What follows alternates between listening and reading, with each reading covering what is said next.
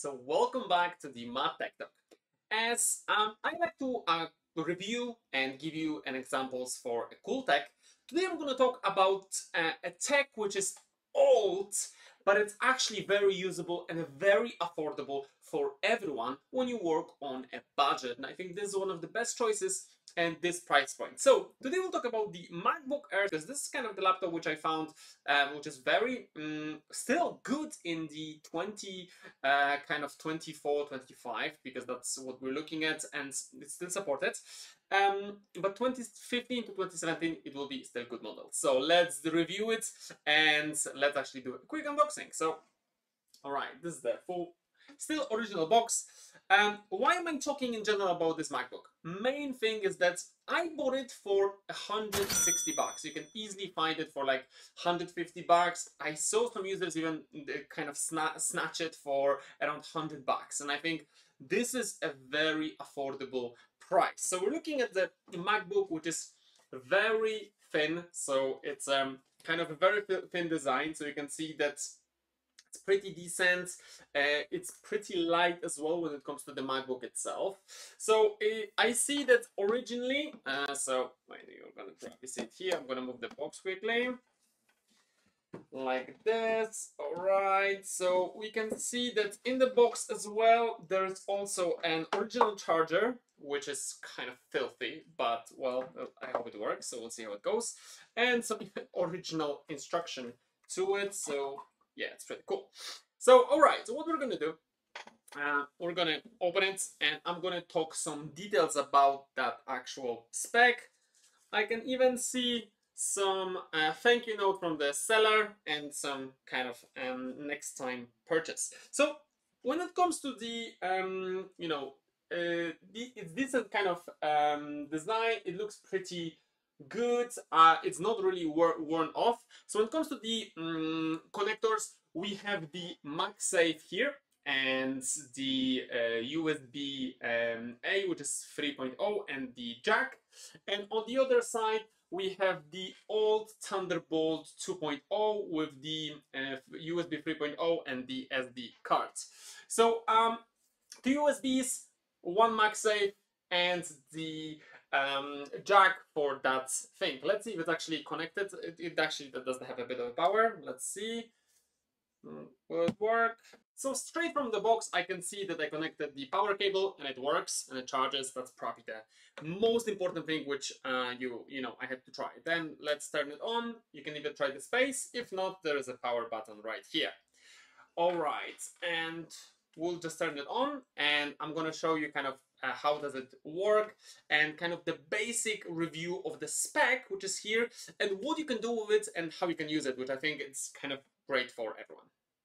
So after turning it on, we can see that um, it's everything is working, and I think this is pretty cool because uh, in a way, I kind of you know this was the first unboxing, so I actually hope that it works. I bought it refurbished. That's kind of how it works. It's running the Mac OS Monterey, and this is the highest which you can go when it comes to the OS software, but still supported and allows you to work with the majority of the apps.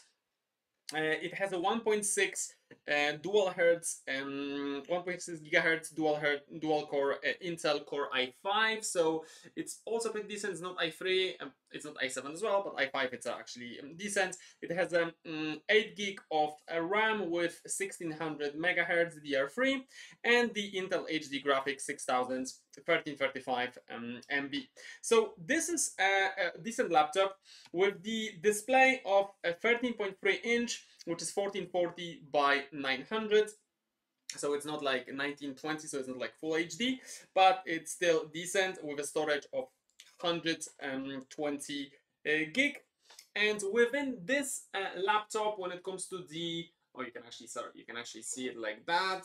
Uh, let me just kind of the big benefits of this uh, Mac is that you can still use it for majority of the tasks.